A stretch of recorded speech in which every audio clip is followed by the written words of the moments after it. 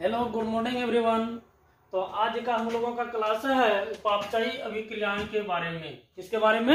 उपापचयी अभिक्रियाएँ, जिसका इंग्लिश होता है मेटाबॉलिज्म एक्टिविटीज़ मेटाबॉलिज्म एक्टिविटीज़ किसको कहा जाता है? तो हमारे शरीर में होने वाली रासायनिक अभिक्रियाओं को मेटाबॉलिज्म एक्टिविटीज़ या उपापचयी क्रियाएँ कहा जाता है।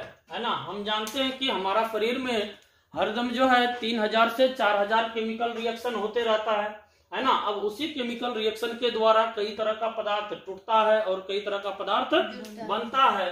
तो उसी क्रिया को हम लोग क्या कहते हैं?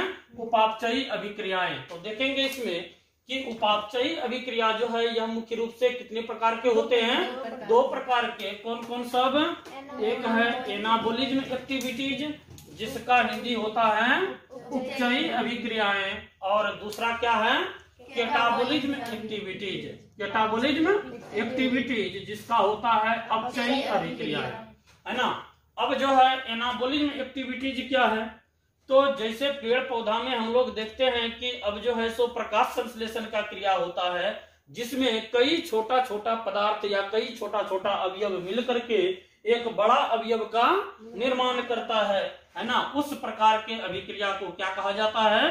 Anabolism activities. कैसे छोटा छोटा पदार्थ, है ना? तो यहाँ पर हम लिखे भी हैं कि वे क्रियाएँ जिसमें शरीर या कोशिका के अंदर कई सरल घटके मतलब सिंपल कंपोनेंट्स मिलकर किसका निर्माण करता है? जटिल घटक, है ना? या जटिल घटके बोल सकते हैं। जटिल घटके या कॉम्प्लेक्स कंपोनेंट्स का निर्माण करता है। उसे एनाबोलिज्म एक्टिविटीज़ कहा जाता है। एग्ज़ाम्पल में क्या दिए हैं? प्रकाश संश्लेषण। तो इसमें होता क्या है कि प्रकाश संश्लेषण में हम लोग देखेंगे जैसे पेड़ पौधा जो है वातावरण से कौन सा गैस लेते हैं? सीओ टू है ना? सीओ टू लेते हैं। उसके बाद जड़ के द्वारा एच टू ओ लेते हैं जल।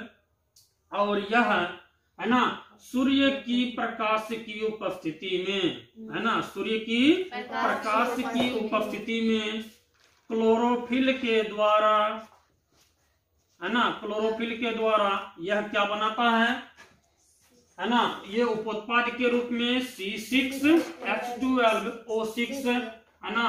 प्लस एच टू ओ और ओ टू है ना? प्रकाश संश्लेषण में हम लोग जानते हैं कि अब जो है सूर्य से प्रकाश आता है तो इस प्रकाश को क्लोरोफिल अवशोषित करता है। प्रकाश में जो है सोलर एनर्जी होता है सौर ऊर्जा होता है।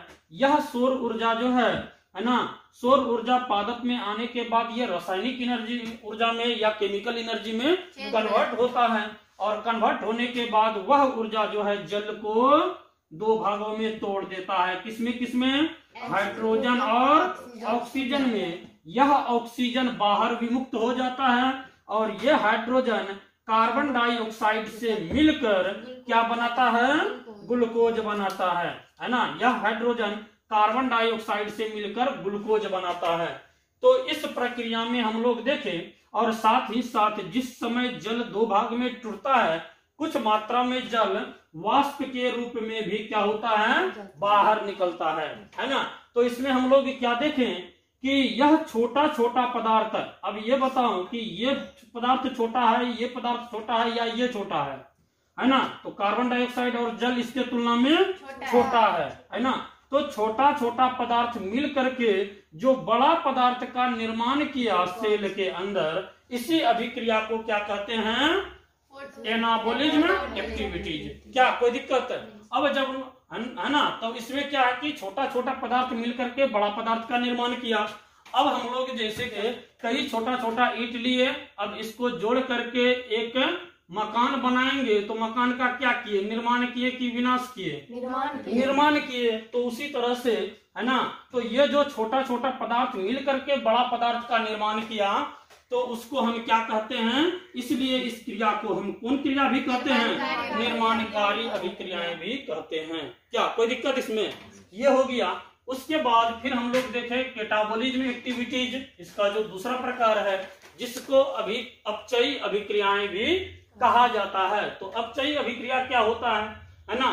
तो हम लोग जानते हैं कि अब तो यहाँ पर छोटा छोटा पदार्थ मिल करके बड़ा पदार्थ का निर्माण किया लेकिन कुछ अभिक्रिया हमारे शरीर में ऐसा भी होता है जो कि बड़ा पदार्थ को ऑक्सीकृत करके या विघटित करके छोटे पदार्थ का निर्माण कर लेते हैं या तोड़ देते हैं। तो वही है कि वे अभिक्रियाएँ जिसमें शरीर या कोशिकाएँ है ना के अंदर जटिल अवयव है ना कॉम्प्लेक्स कंपोनेंट ऑक्सीकृत होकर या विघटित होकर किसका निर्माण करता है? है ना? सिंपल कंपोनेंट्स का। या सरल अवयव का जो है निर्माण करता है। उस अभिक्रिया को या उस क्रिया को हम क्या कहेंगे? एटाबोलिज्म एक्टिविटीज़ है ना जी? तो इसका एग्ज़ाम्पल में क्या हो जाएगा? जैसे श्वसन। कैसे श्वसन होगा? तो श्वसन में हम लोग जानते हैं कि इसमें क्या होता है कि अब जो यहाँ पर ग्लूकोज बना यह सेल के अंदर माइटोकॉन्ड्रिया में उपस्थित होता है। है ना? यह जाकर के सेल के अंदर माइटोकॉन्ड्रिया में प्रेजेंट हो गया। अब हम लोगों का बॉडी में ग्लाइकोजन के रूप में स्टोर होता है फ़ूड तो वह ग्लाइकोजन ग्लूकोज में कन्वर्ट होता है।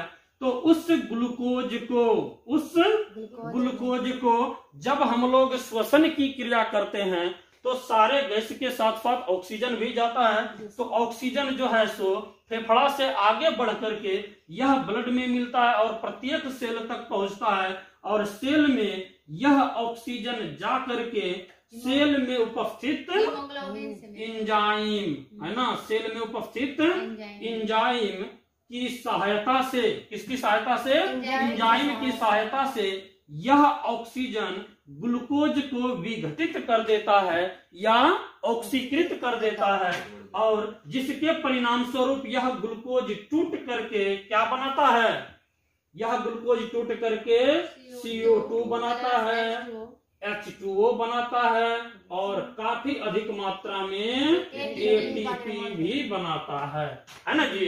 तो यह ग्लूकोज टूटा बड़ा पदार्थ टूटा तो बड़ा पदार्थ टूटने के बाद यह क्या करता है कि छोटा छोटा पदार्थ का निर्माण किया।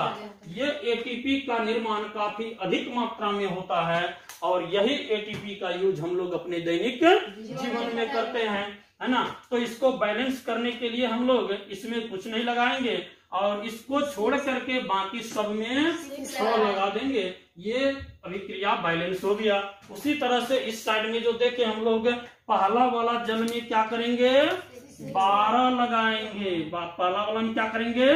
बारह। और बाकी को क्या करेंगे? छ छ लगा देंगे ग्लूकोज को छोड़ करके। है ना? तो हम लोग जानते हैं क्यों करेंगे ऐसा है ना? ग्लूकोज सबसे बड़ा पदार्थ है। हम लोग केमिस्ट्री में पढ़ते हैं कि जो जितना क्लिष्ट है उसको उतना पहले बैलेंस करना है। तो ग्लूकोज बड़ा है जिसको छोड़ देंगे है ना? उसके बाद फिर पहला वाला जल के आगे बारह लगाएँगे तो बाकी में छह लगाएँगे तो बैलेंस हो जाएगा। देख सकते हैं कार्बन छह इधर हो गया छह कार्बन इधर है ना? उसके बाद ऑक्सीजन छह दुना बारह बारह ऑक्सीजन चौबीस।